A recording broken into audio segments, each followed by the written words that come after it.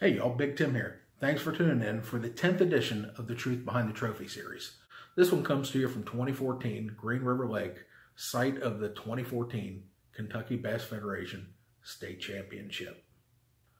So I've fished Green River a lot, and I've never done well, particularly later in the year like October, which is when this was. I believe it was October 19th and 20th, but I'm not 100% certain on that. But definitely middle to late October. And uh, like I said, I've never done well there. As much as I've fished Green River, um, I've just never done well there. I've had many KBF state championships there. Uh, our club had gone there a bunch, and I just never could figure it out. It was always just a difficult place for me.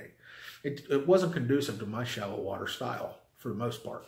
Most of the guys are going to catch them deeper, or, you know, look into some top water bites here and there, and just not me.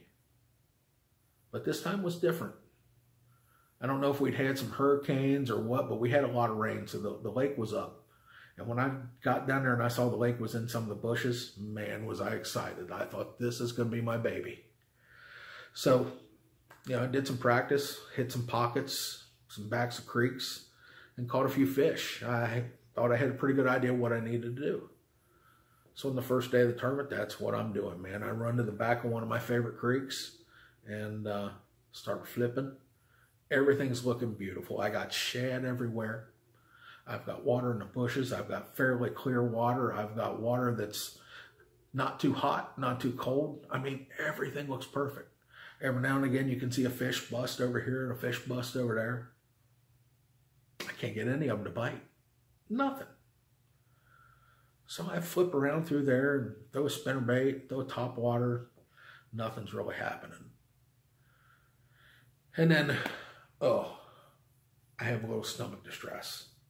Now, what I forgot to tell you was I was almost late to blast off because I had to run down from the restroom because, like I said, I was having stomach distress. I don't know, something I'd eaten wasn't agreeing with me or what. So on the way out, I decided we need to pull up on the bank. I know it's not a great subject to talk about, but everybody does it. I do it too. I hate it. So after that, I was just rumbling the rest of the day. So I go up and I'm fishing up um, by one of the marinas and uh, fish around there.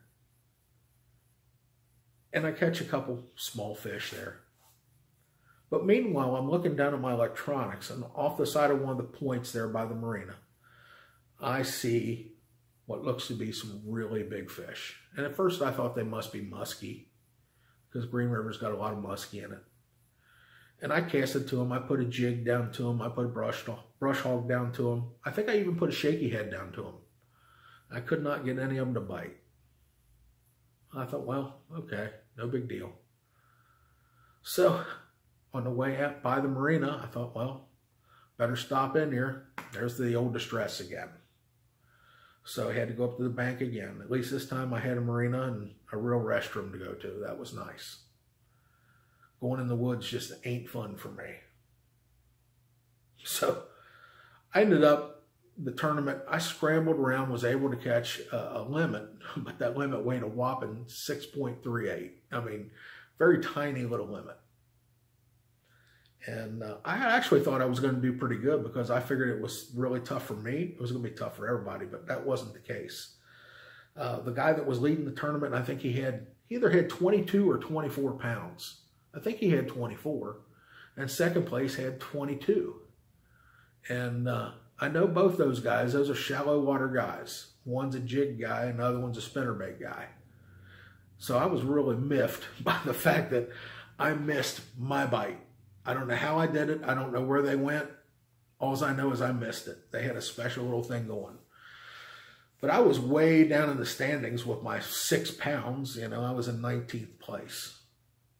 So, you know, go back to hotel, relax, change baits, all this other stuff.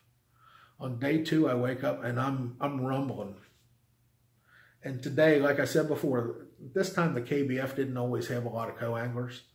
So it's day two of the tournament, and I'm actually fishing by myself. I thought this is pretty good considering the stomach trouble I've been having here recently. So I decided what I'm going to do is I'm going to stay close to that marina. So I go back there and I catch a couple small fish in the area that I had fished prior. I think I had a, a little one pound fish and I had a little two. So I go back over where I saw those fish on the graph and I don't see anything anymore. I'm casting a jig. I cast in there and, you know, all of a sudden I feel it get bit and set the hook. And it's a small fish. It's not even a keeper. It's a little 10 incher. And I thought, well, what's going on here? So the next cast I cast in with that little jig and I let sink down a little further and pull it further out and deeper off that point. And all of a sudden, dink, I set the hook and it was on. I thought, oh, here we go. I got me a muskie. I've fished down here all these years and I've caught them with crankbaits and uh, everything else, but I've never caught one on jig until now. Well, I'm fighting this thing and it's fighting like the devil. I finally get it up there and it's a nice bass. In fact, I think it's, again, we're talking about that personal best. I think it's my personal best. I'm pretty sure this sucker is going to be well over seven pounds. So I'm able to reach down and lip it and get it in the boat, and I'm just ecstatic. Throw it in the live well. I'm ready to go fish some more, but my belly, I guess all of that activity got me stirred up again. So back up to the marina we go. I was in there for about 10 or 15 minutes and walking out, ready to go fishing, and it hits again. So I got to walk back in. I don't know what was wrong with me. So I actually do know what it is. I finally went to the doctor later on in the year and found out that um, I got diagnosed with Crohn's disease. I'm still on the medicine for it now. Um, and I, I, when I found out about that, I was so aggravated because, you know, I'm not one to, I'm not a germaphobe. However, there's one thing I don't care for, particularly uh, where I work, is shaking hands. And I remember shaking a guy's hand, and afterwards I was like, ugh I got to go wash off. And uh, most of the time I can do just about anything. I can go out and work in the dirt. I can, you know, be fishing and whatever. And I don't feel like I need to wash my hands unless I come in contact with other humans.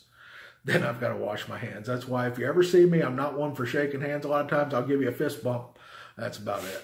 But um, yeah, so we found out that was Crohn's disease. Anyway, after spending the time there at the uh, marina. Finally get back in the boat. And like I said, I've got a six and I've got a one pounder and I've got a two pounder. So I'm pretty happy about this. Sit back down, get all relaxed, make another cast in that little spot. Think, have a four pounder this time. Man, am I really excited. This is awesome. Get him in the boat, kind of relax a minute, get my composure, Cast that little jig in there another time. Bam, get bit again.